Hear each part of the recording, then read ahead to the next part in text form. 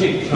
اور دوسری بات سر میں اپنے طور پہ سمجھتا ہوں چونکہ ہمارے یہاں پنجابی بھائی دوسرے بھائی جو دیگر شہر والے ہیں ان کو نہیں پتا ان لوگ سمجھتے ہیں کہ تو کدھر کا رہنا وہ بھائی بلتستان بلوچستان نہیں بلوچستانی ہے۔ یہ میں سمجھتا ہوں پاکستان کی جو شناخت ہے بلتستان یعنی ایک شخصیت کی شناخت ایک سر سے پاکستان کی شناخت کیا ہے؟ یعنی اپنے طور پر ہو سکتا ہے اگر میں غلط بولوں تو پھر آپ لوگ یعنی اللہ نے ایسا مقام دیا ہے سات سمندر سے لے میں بات کرتا ہوں آپ کا سوال ہو گیا بات سنیں۔ دیکھیں گلگت بلتستان کے لوگوں نے تقریباً چھتیس سینتیس ہزار مربع کلومیٹر کا علاقہ خود لڑ کے اپنے زور بازو سے ڈوگرا راج سے آزاد کروایا۔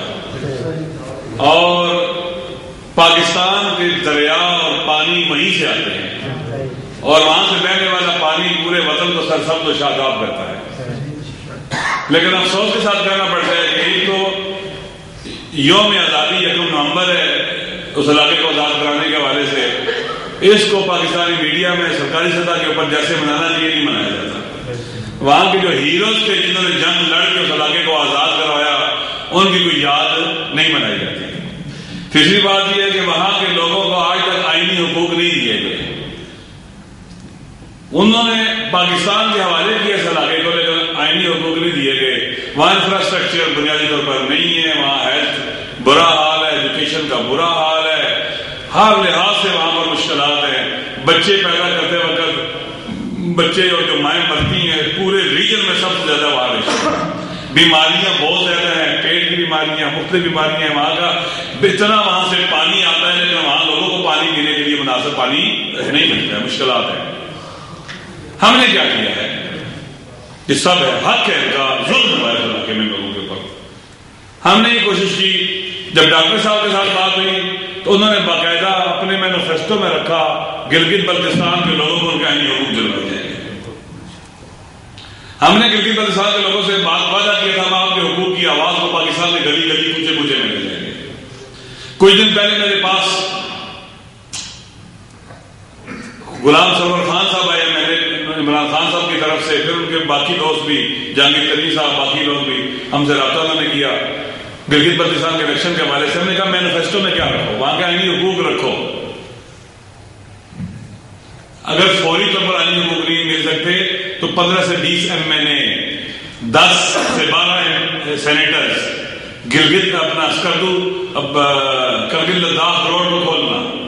ایک انجینئرنگ یونیورسٹی، ایک میڈیکل یونیورسٹی، انفراسٹرکچر بنانا، اسی پرسنٹ وہاں کی لوکل نوے پرسنٹ بیوروکریسی ہوگی۔ ان کا وزارت خارجہ کے اندر کوٹا ہوگا یا باقی کوٹا ہے فلاں فلاں بارہ پندرہ چیزیں بتائیں۔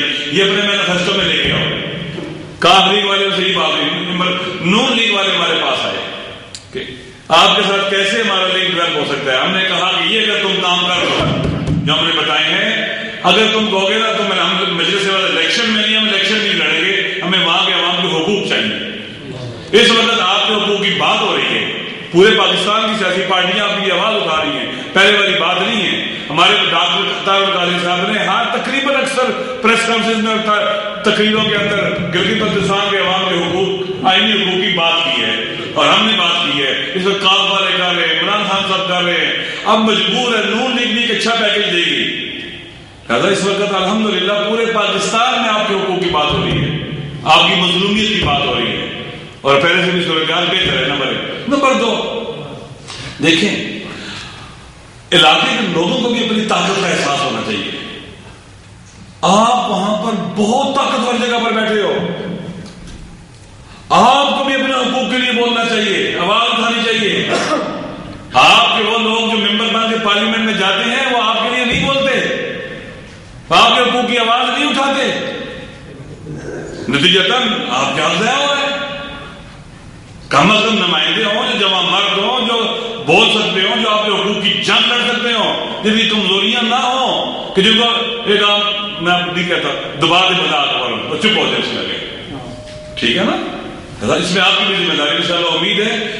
یہ جو الیکشن آنے والے ہیں، اساس وقت ہوتا ہے، اس میں اپنی ڈیمانڈز کو ملکی سطح پر اٹھایا جا سکتا ہے۔ اور اس وقت آپ دیکھیں کہ بہت صورتحال بہتر ہوگی ان شاء اللہ پہلا میں صبح سے ہوں میں۔ ایک سوال ہے کہ جو ہمارا عدالتی نظام ہے مووی بن جاتی ہے، ٹی وی پہ لائیو بندہ قتل ہو جاتا ہے۔ اور ہمارے جو جسٹس صاحبان ہیں، ان کے عدالت کے خلاف کوئی آدمی بات کر دے تو دوسرے دن، بلکہ ایک گھنٹے بعد توہین عدالت آ جاتی ہے۔ ہم سیاستدانوں کے خلاف بول سکتے ہیں سب کے خلاف بول سکتے ہیں۔ ان کا حل کیا ہے؟ اور ایک ریکویسٹ ہے آپ سے کہ اسلام آباد میں ایک دوست ہیں ان کو مسجد کا پرابلم ہے۔ کوئی ایل ڈی اے میں ان کی اپروچ ہے۔ سی ڈی اے میں ہاں ہاں, ہاں، سی ڈی میں۔ ان کی دوسری پارٹی کی اپروچ ہے۔ کافی عرصے سے وہ بیچارے محنت کر رہے ہیں۔ ہم آپ کو ایڈریس دے دیں جی، جی۔ برائے مہربانی ان کا بھی پہلی بات ہے میں نے پہلے جو بات کی تھی نا استحکام پاکستان کی چند چیزوں کو پیٹریاٹزم کو فروغ دینا ہوں۔ جمہوریت کو لانا ہوگا ٹھیک ہے۔ اپنی جو مذہبی اقدار ہیں، ان کی پاسداری کرنی ہوگی تاکہ لوگوں کے اندر ایکسٹریمزم نہ پیدا ہو اگر ہم پیٹریاٹزم کو رواج دیں گے، تو پھر لوکل سطح کا نیشنلزم وجود میں نہیں ہوگا ہمارا ملک کے اندر لوکل سطح کے اوپر لسانی جماعتیں وجود میں نہیں آئیں گی۔ پیٹریاٹزم کے ذریعہ اثر رکھے گا۔ اگر ہم جمہوریت لے کے آئیں گے، تو پھر اس کے ذریعے بھی بہت سے منفی چیزوں کا راستہ روک جائے گا نیگیٹو چیزوں کا راستہ روک جائے گا۔ ایکسٹریمزم پیدا نہیں ہوگا۔ اگر ہم اپنی مذہبی اقدار کی پاسداری کریں گے، اور اپنی مشق کی تہذیب کی پاسداری کریں گے، اس کے مطابق بھی اگر ایسا ہوگا تو ہمارے یہاں وہاں پر ایکسٹریمزم نہیں آئے گا اور انٹرسٹ نہیں ہوگا، مشکلات پیدا نہیں ہوگی چوتھی چیز ہے نا، وہ عدلیہ عدالتی نظام ہے۔ عدل، حضرت علی سے پوچھا گیا، عجیب جملہ ہے۔ حل الجود افضل ام العدل؟ کیا جود یعنی سخاوت افضل ہے یا عدل افضل ہے؟ رسول نے کہا، العدل افضل من اللہ کی سخاوت میں ہاتھ کیا ہوتا ہے؟ کھلا ہوتا ہے. اور عدالت میں ہاتھ کیا ہوتا ہے؟ سخت ہوتا ہے. اگر اخلاقی نقطہ نظر سے دیکھا جائے سخاوت کھلا ہوتا ہے، یہ بہتر ہے. یعنی عدل افضل ہے. اس لیے کہ سخاوت کی بنیاد پر آپ کوئی سسٹم نہیں بنا سکتے. لیکن عدل کی بنیاد پر آپ ایک سسٹم بنا سکتے جس ملک میں عدالت نہ ہو وہ ملک نہیں چلتے تباہ ہو جاتے ہمارا جوڈیشری کا سسٹم آخر میں تو تباہ ہو برباد ہے۔ اس کو بھی بہتر کرنا ہوگا ملک کو مستحکم کرنے کے لیے، تاکہ لوگوں کو بر وقت انصاف ملے ان ٹائم ملے، شفاف ہو، اور لوگ دھکے نہ کھاتے پھر آج کل تو انصاف خریدنا پڑتا ہے۔ ہمارا تو مشہور ہے، وکیل خریدنے کرنے کے بجائے آپ جج کر رہے یہ حالت بن گئی ہے۔ کہ ہمارے ملک کے اندر فرق یہ واقعہ لوگ زندگیاں گزر جاتی ہیں مقدموں میں۔ لہذا عدلیہ کو بہتر کرنا ہوگا۔ اور عدلیہ کی عدلیہ کو کریٹیسائز کیا جا سکتا ہے۔ عدلیہ کے خلاف کو بہتر بنانے کے لیے اقدام آواز اٹھائی جا سکتی ہے اور ہمیں اٹھانی چاہیے۔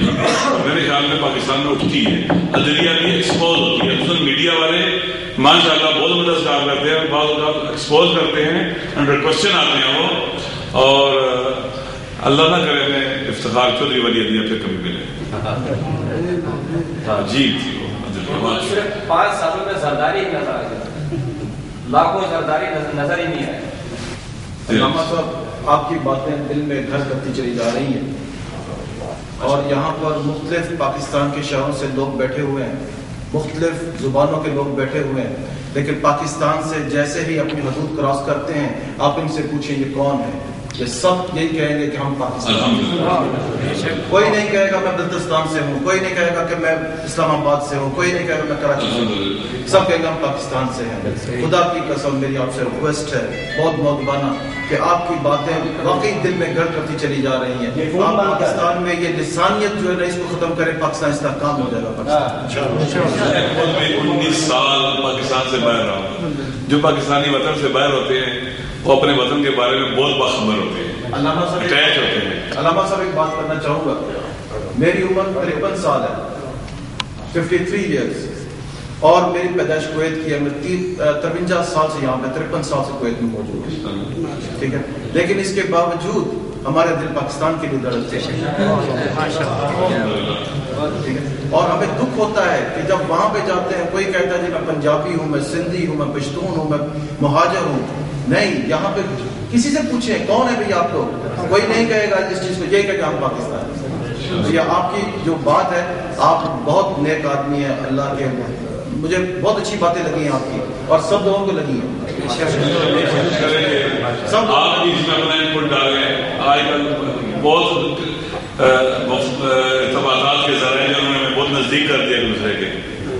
آپ بھی کوشش کریں، ہم بھی کوشش کریں گے، انشاءاللہ اپنے وطن کے اندر ہم مادر وطن کے باوفا بیٹے بن جائیں گے، اکٹھے ہو جائیں گے اور ہمارا وطن آگے بڑھے گا، انشاءاللہ۔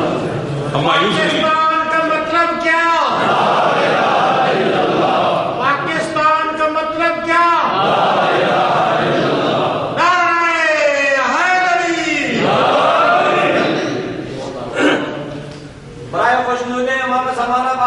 بلند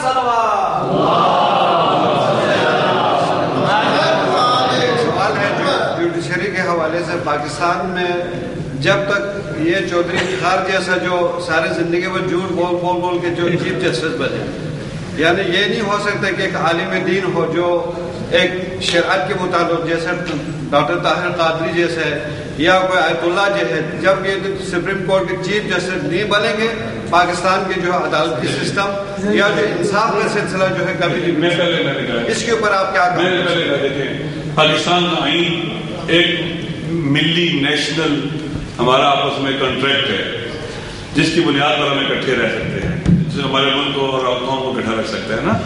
اس میں بیسک گنجائش ہے۔ دیکھیں عادل جج نہیں ہے۔ میں بعض ججوں کو جانتا ہوں بہت عادل ہے میں ایک جج کو جانتا ہوں کہ وہ اپنے باپ کی سفارش بھی قبول نہیں کرتا۔ ایسے لوگ نہیں ہیں جو بالکل ہی دے گزرے نہیں، ایسے ہیں۔ ایسے جج ہیں جن کے سامنے کروڑوں روپے رشوت رکھی جاتی ہے، وہ اٹھا کے پرے پھینکتے ہیں۔ عادل ہیں، نیک ہیں۔ اور ایسا نہیں ہے نہیں ہے۔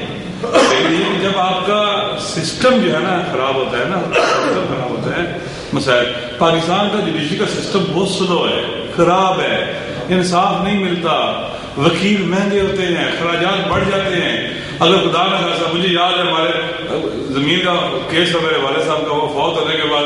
ہم چھوٹے چھوٹے تھے، تو ہم کورٹ میں گئے، ان کو بتایا بھی یہ وہ مر گیا ابھی اس کے بچے ہیں۔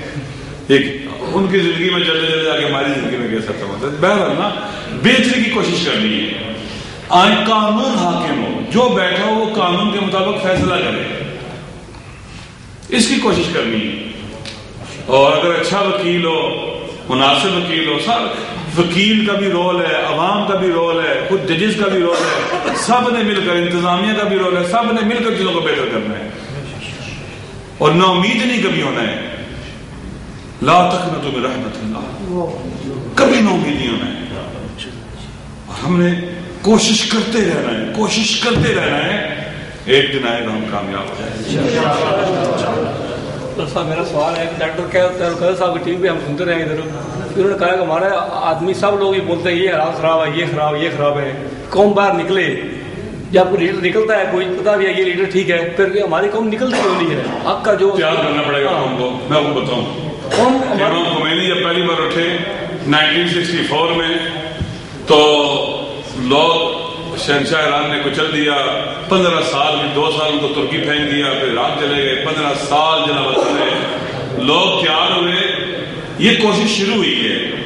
لوگوں کو تیار کرنا پڑے گا ان کو امید دلانی پڑے گی ان کو حوصلہ دلانا پڑے گا ان کو باشعور بنانا پڑے گا ان کو ہمت بنانی پڑے گی۔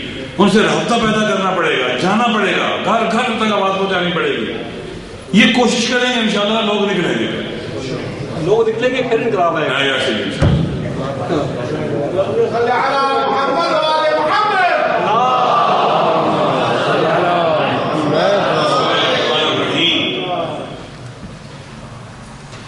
العظيم الأعظم الأجل الأكرم يا الله.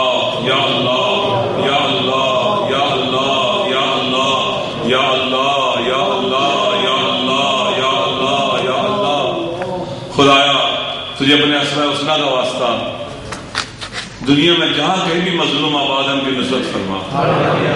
ظالموں کو شکست سے دوچار فرما۔ مظلوموں کی نصرت فرما۔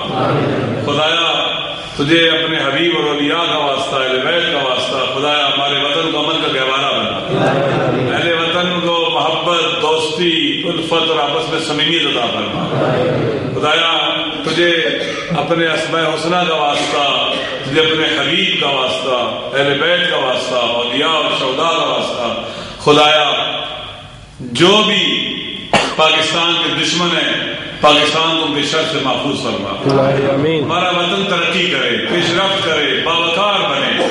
اہل وطن کی آزاد شریعہ کو بھرنا اہل مجلس کی حاجات کو بھرنا جو بیمار ہمیں شفا کا عملہ جلاتا جو بے روزگار ہمیں عزت اور آبرو والا روزگار نصیب۔